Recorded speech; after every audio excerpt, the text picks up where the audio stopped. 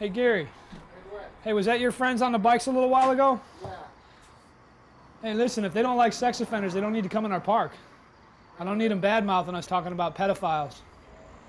All right? I don't need that. If they can't be respectful, they don't need to come in the park. All right, everybody. What would you like to talk about today?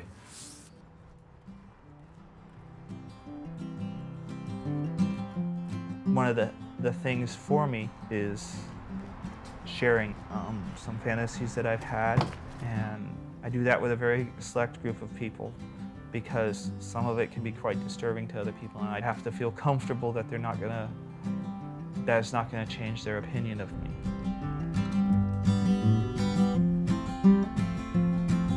There's a lot of people out in the world that don't think very rationally about how to handle us. So you get a lot of vigilantes, you get a lot of people that want to come in here and start trouble with the baby rapers, as they call us.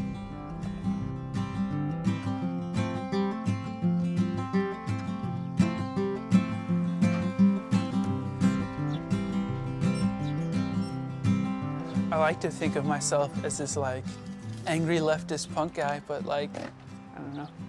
I try to be loving to the people close to me. I try to do right by them. When I was six years old, there was a babysitter that used to do things to us sexually. She would masturbate us, she would uh, rub her vagina on our faces. The typical reaction of a normal citizen well, we don't care.